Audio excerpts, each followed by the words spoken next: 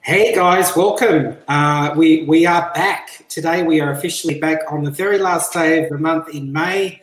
Welcome back to Wine and Design. We've been on been on hiatus for two weeks, so I hope that you've missed us.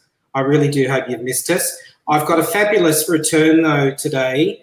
Uh, speaking with a very, very wonderful and talented guest who you can see sitting pretty right next to me. I'll introduce you, uh, introduce me first, if, if, if you don't mind. I am Adam Scougall, interior designer, and I create, uh, get, get, bear with me, Gitte, because this is my new tagline, bespoke, bold, and beautiful interiors in Sydney. I am specializing in designing interiors around my clients' favorite art pieces and collections. Fantastic. Well done. Here we go. So, uh, yes, so let me talk to you about my fabulous guest, Gitte Backhausen. Let me bring up her name here, Gitte. Gee, it's been a couple of weeks, Gitte. I'm kind of a little bit bit uh, fuzzy with with BeLive, the platform we're on, to have this fabulous discussion. How are you today? I'm really good, thanks. I'm really good. How are you? I'm very good, thank you. I've just been really pleased to uh, have you come come here on the 31st of the month? You've got so much to tell us. Um, I, I, guess the, the thing about um, the, the lovely thing about speaking with you, Gitte, is is you know I, I met you a few weeks ago, didn't I, at uh, a gallery in North Sydney here called the Rochford Gallery, um, and I came on a Sunday session, and and that was a really fabulous day because I remember coming in there and meeting you and here you are telling us about your fabulous art at 11 o'clock in the morning. You know, we're given a glass of champagne and then uh, I just remember that sort of whole experience of hearing you describe what you do and, and some misconceptions I had about what you do. Um, before we kick off though into to what's happening with you and you've got a lot of exciting stuff happening or you have had and, and great stuff happening next week, which we're going to hear all about. Do you have a drink handy? Yes, I do. Cheers to you, darling. It's Friday.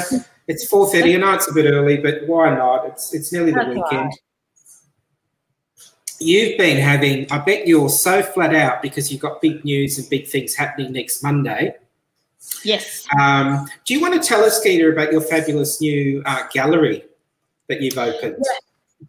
yeah. So approximately seven months ago, uh, me and uh, my business partner Kerry opened an artist-run gallery called Fern Street Gallery in Gerringong on the south coast. And um, yeah, it's really, really taken off and been received so, so well. So yeah, it's, it's been busy times alongside, um, you know, working my own um, art career. Uh, and I have my solo show coming up at Fern Street Gallery starting next uh, on this well this Monday. So, yes. Oh, such exciting news. We were just having a chat about the last seven months and, and that sort of evolution of success that you're telling me you're having. I just want to, yeah. before we get into a little bit more detail, just want to say hi to Barbara, who's jumped on here, Gitte. She's saying, looking forward to this fab chat uh, with kisses from Barbara there. We've got Janelle, who's a regular. Janelle is an art lover, and I believe, uh, Gitte, she, she uh, is an artist herself. So hey, thanks, Janelle, for popping on. Thanks, Bub. Stay on with us, guys. Anyone that pops on, please feel free to say hello and ask questions. We've got a fabulous artist here. Uh, Liza, we've got Liza here. Liza is actually in the US. I'm thinking, Liza, it must be very late, darling, where you are. But you're up and you're watching us. And how are you, darling? So let's just kick off here. So seven months you've been going, Gitte, and I think um, tell us tell us about the evolution of the gallery, um, well, first, let's talk about you as an artist first, and then we can just segue into okay. that. All right. So me as an artist, um, I think of all the things that I've done in life, I think well, art has been the one consistent um, avenue for me. So it's been something that um, I was, you know, that was came naturally to me as as a child as well. So I've always created and done a million courses and drawing and ceramics and you know you name it I've done it I think. Um, I think in my what would that have been? In my early 20s early 20s mid 20s I can't remember now. Um, I I really committed to painting and and started you know i've got a studio i started really seriously painting i started selling works. I was back in denmark then. And um, then when i moved to australia in 2005 i, I continued with that journey of, of painting and um, yeah and exhibiting and selling and, and doing some commissions as well. So it's it's yeah it's been quite a journey. And especially in the last few years um, it's yeah, I've I've been very very very active um, in um, creating and exhibiting. So. Hmm. Fabulous. I'm just going to bring up a lovely image of you here, Gitte, uh, in in uh, what was uh, maybe the the older version of, of your studio or somewhere you yeah. were working on a, a lovely piece, um, a lovely piece called Where the Wind Blows. That was actually it's hard to sort of see. We've got you in situation there with paint all over you. But um, this particular painting in the background there is probably the first thing that I noticed. Um, I went into the Rochford Gallery and that was, I just was drawn to this piece to the left. And uh, that's the piece in the photo. Um, but what an amazing journey, Gitte. So you've been here since 2005 and you've, you've gone through this process of committing, by the sounds of it, to, to making this a career full time and now you know you're, you're, you're getting to the point where you're opening a gallery and running things um, from our conversation just before. I guess running things in a really uh, unique and uh, dedicated way for not only yourself but other artists that are collaborating with you in the gallery. Yeah. can we hear a bit more about that? Yeah so i think um, you know, along the way, I've, I've, you know, along the way of my art, I've, I've done other things. So I've have a degree in, um, you know, applied social science, and I've worked in counselling, career coaching, and mental health as well. And I have a degree in graphic design as well from way back. And then a lot of things happened in my life. That then in 2016, I became a full time artist again, where I've, you know, done part time work before.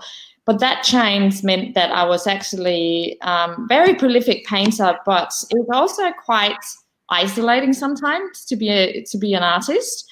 And I also have this urge to contribute on a on a on a bigger scale. That's just part of me. I I think it doesn't sit right to me just doing my art. I, I really want to contribute, yeah, on a bigger scale.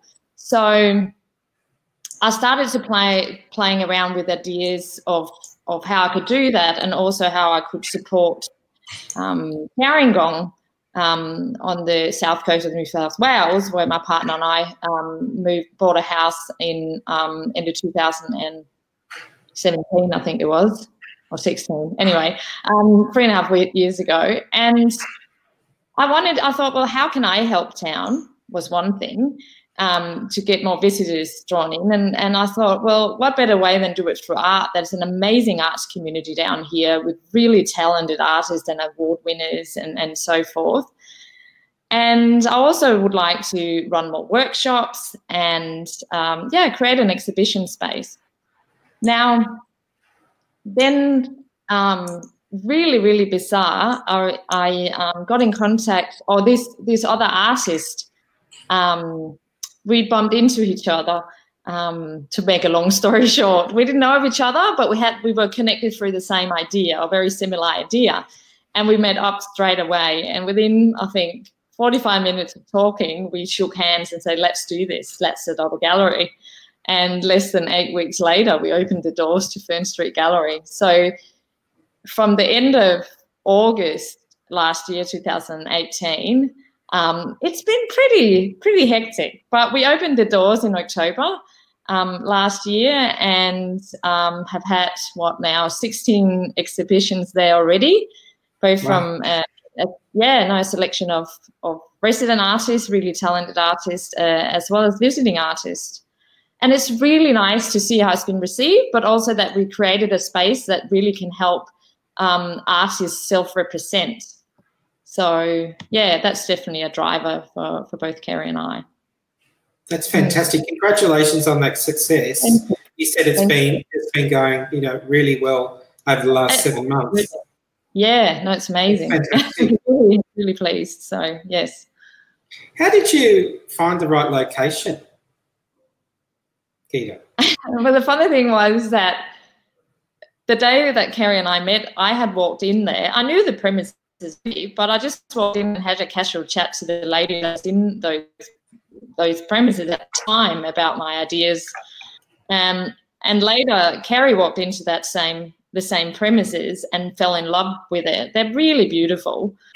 Mm. So we actually kind of met through the premises because Carrie overheard a conversation with the with the tenant at the time about what I've said earlier.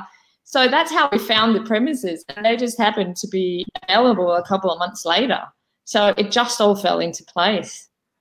It was just, I really just think it was, it was meant to be there because those yeah. premises are unique and special and right smack bang in the middle of town. So, yeah. So that's that's fabulous. So you've got, um, I mean, I've been on to to let's let's tell everybody the the website address. Yeah, so for the gallery, it's uh, fernstreetgallery.com.au and you spell out street. So S T W E T. Yeah. Dot com.au. So, yeah, .com.au. And yeah. you're in the south coast at Gerringong, New yes. South Wales. Yes, only 90 metres drive south of Sydney. So not far. It's good for a day trip. Yeah, fantastic. I'm going to come down. We've been talking about that. Yeah. So how many artists are you uh, are engaged in in uh, their involvement in the gallery? There's a number, isn't there? Yeah, so uh, currently we have um, we eight resident artists. That's in, that includes Carrie and I, who are both you know uh, artists as well, and um, that number will uh, potentially grow. Um, we um, yeah, we're quite selective. It needs to be the right match and, and right quality of art. So um, but so eight to ten um, there, and then we have the visiting artists that can come and rent the front part of the gallery.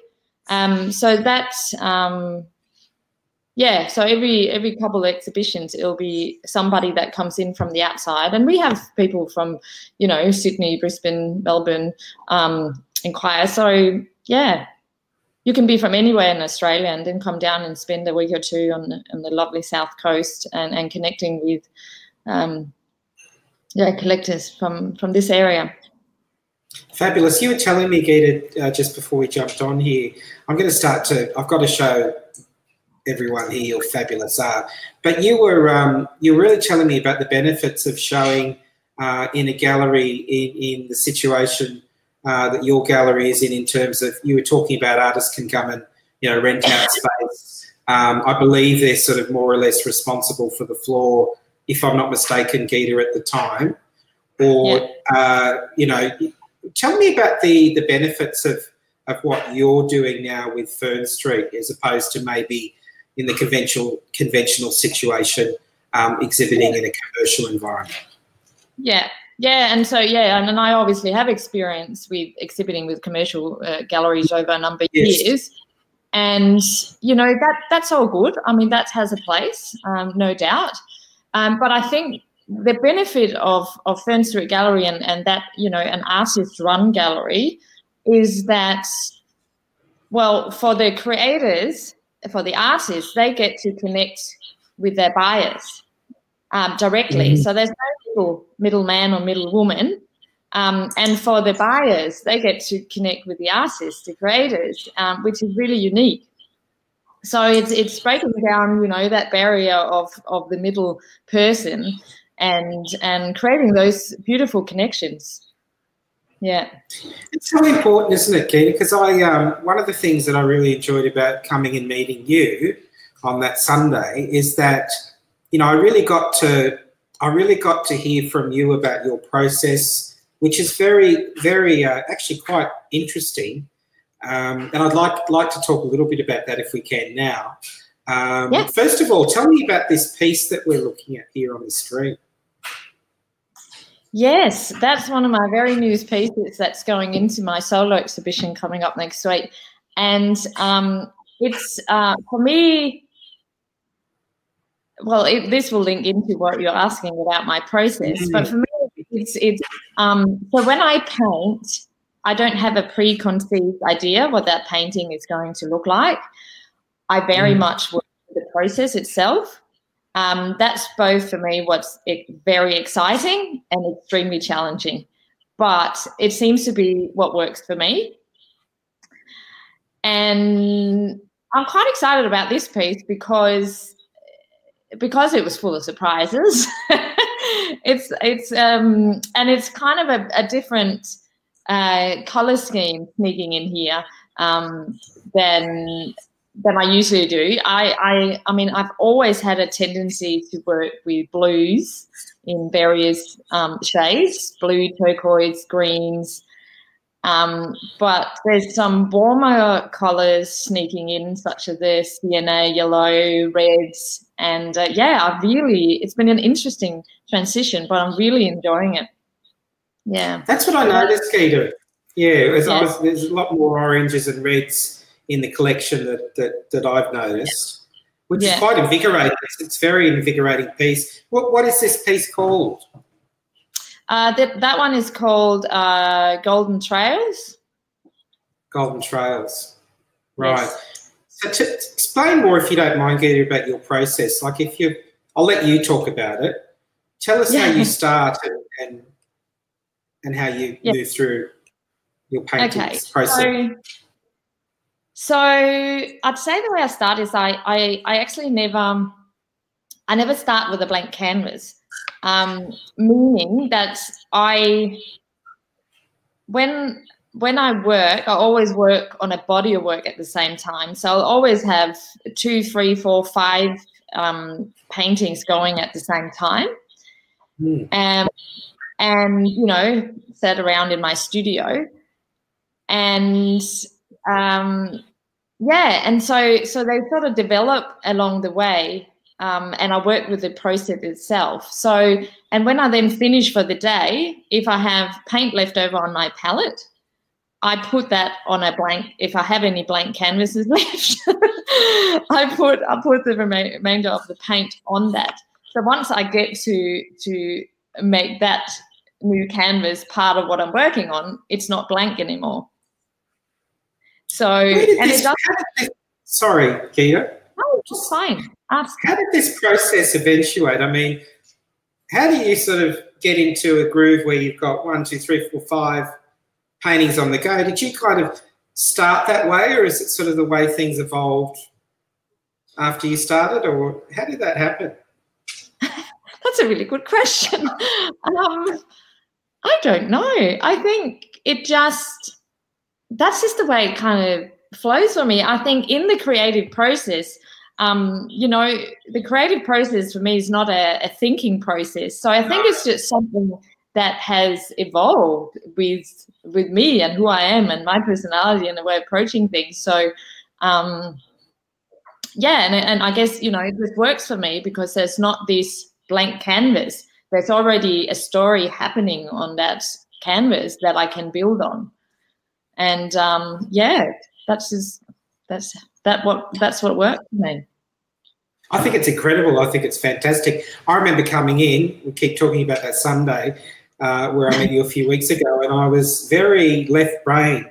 And I've actually told this story to a couple of people since Peter. I was like, yeah. okay, so Gitte, um, so you've got, are you sitting by that harbour with those boats? or do you have the picture in your hand and you're painting from the picture?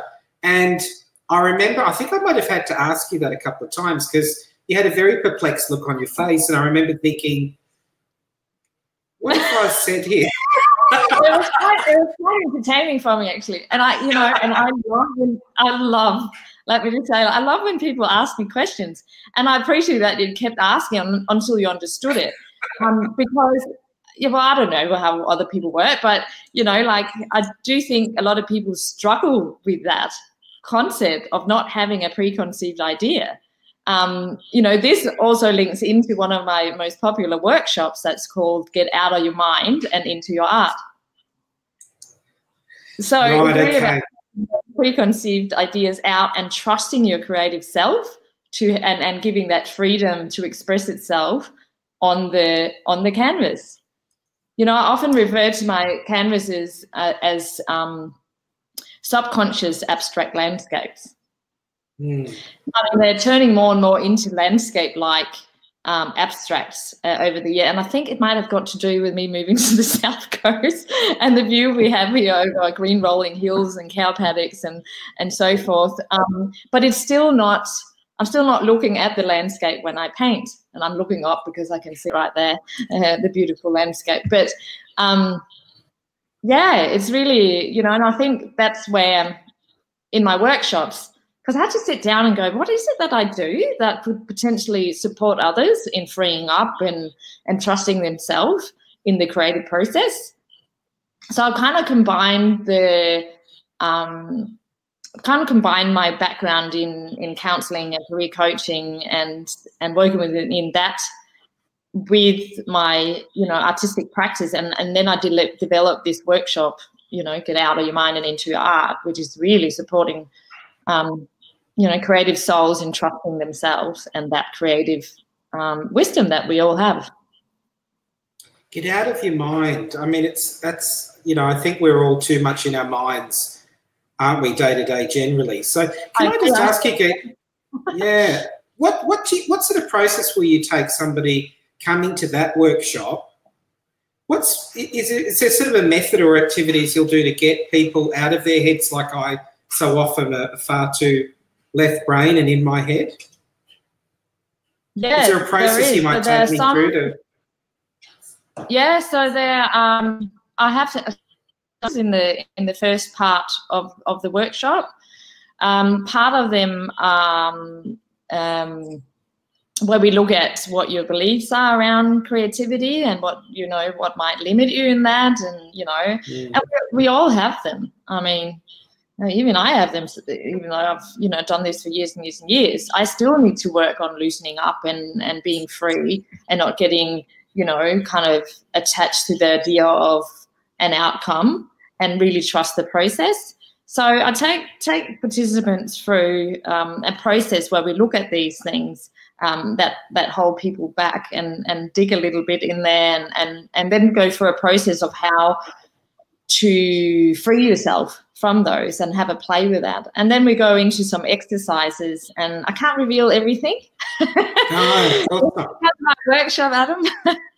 but um, yeah, then we I'll take uh, take you through some exercises um, that mm. um, well art related that help you loosen up. And, and then we go into you know getting the canvases out and actually have a have a play with um, you know colors and mark making and and freedom to express.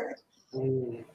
So what mm. happens if if I'm tense and I'm kind of not really in that groove of, of getting out of my head? What how do you think that impacts somebody's ability to kind of create something of meaning or well, that's why I do those exercises. So those exercises are designed to to bring you back into your body and mm. and out of your head and in you know into your art, into your body, into your heart. Um, so that's what they're designed for. I do them in the first part, so we can get you into that more trusting space. Um, yeah, and I think the key here is to keep going. So what I often right. recommend uh, the artist is that, I mean, we can, again, we can't think our way to creating art. We can't think our way to freeing up and trusting our project. We actually have to do it. So I often, um, you know, recommend having a little notebook in your bag, for example, um, or you know, by by the side of where you sit and watch TV, and just mm. and just scribble, just scribble freely. So you just get used to that. Your hand is moving and and making weird marks and and you don't have to worry about it because it doesn't have to become a beautiful artwork and the more you do that the more you i think you, you can learn and build that trust in um, and having fun with that rather than it being a scary thing and just you know going into it without having to create a masterpiece at the time because i think that's what often stops the creative process in in this kind of painting that expectation that I've got to create something fabulous.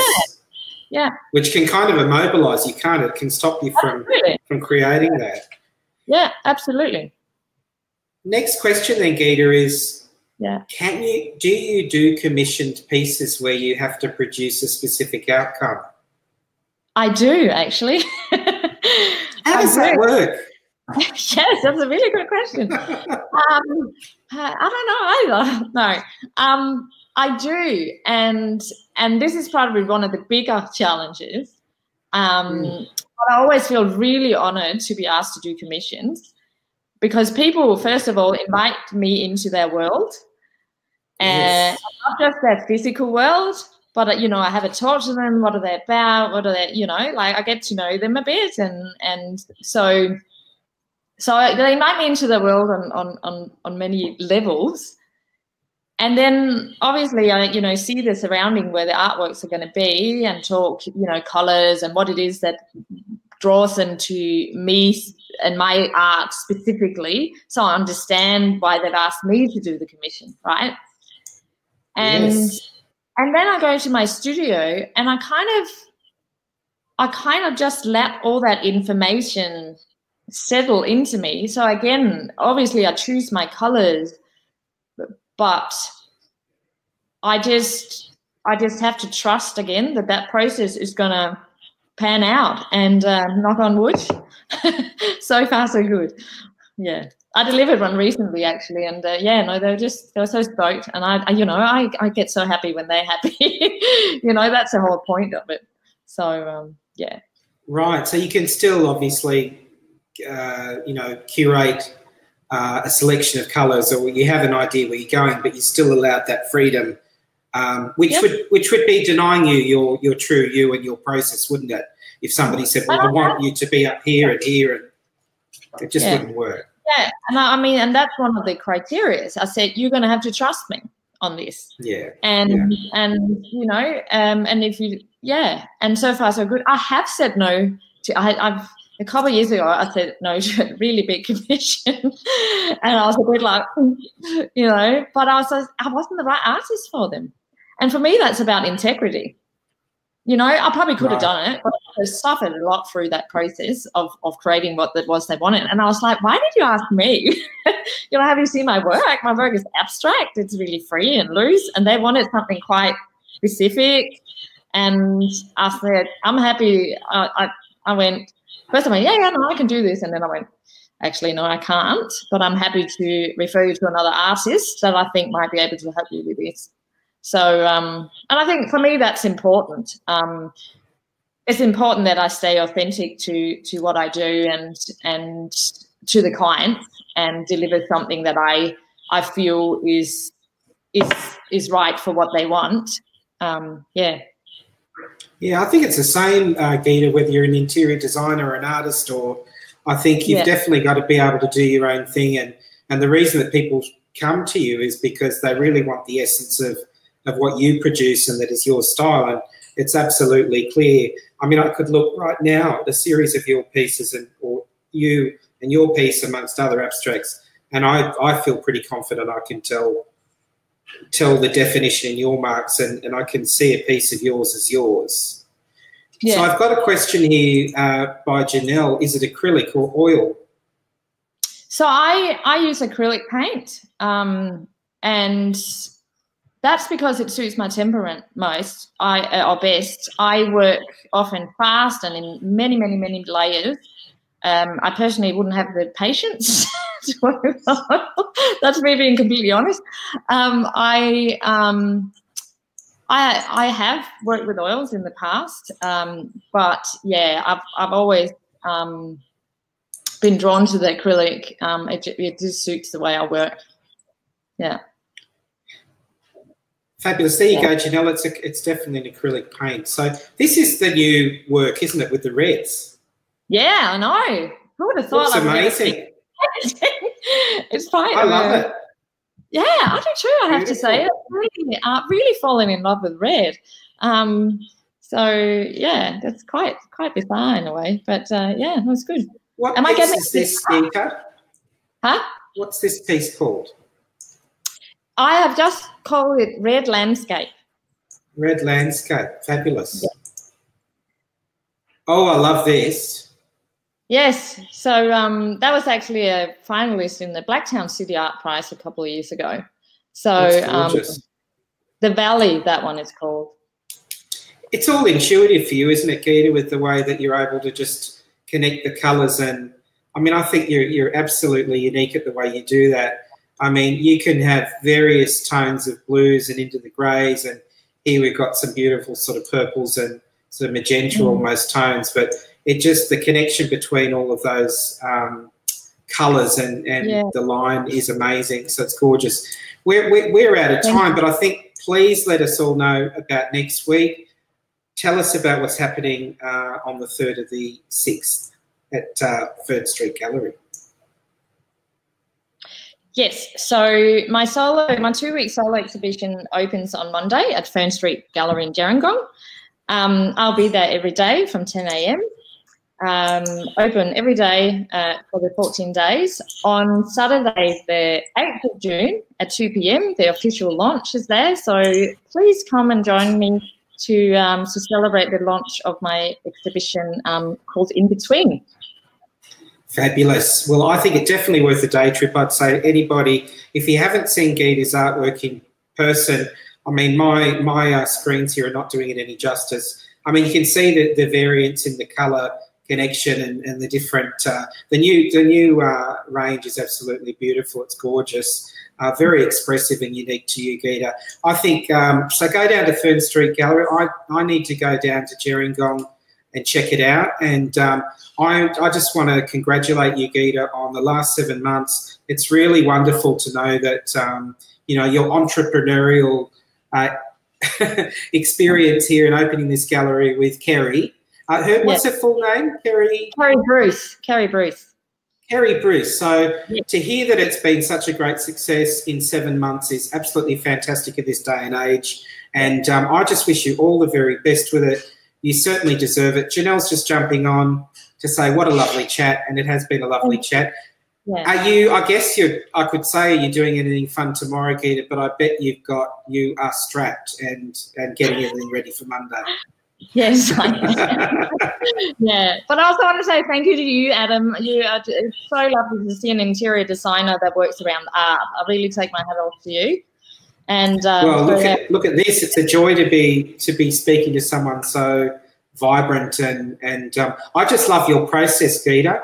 I just love that you have your own process. Uh, you know, unashamedly, uh, it is what it is, and it develops. And I think the creative process behind what you do is is is very unique, and and uh, the beautiful results speak for themselves. So all the very best next week. I hope you don't get too Oh, Shane's jumping on. We've got everyone jumping on. I'm going to do a replay, guys. I'll do a um, I'll do a uh, replay so everybody can jump on and, and, and watch our talk. But um, you have a wonderful weekend, Gitte, and don't don't stress. It'll be amazing next week. And everybody get down to the Fern Street Gallery in Gerringong. Uh, I'll put the address of the gallery in there and go and see Gitte's new exhibition. It will be fabulous.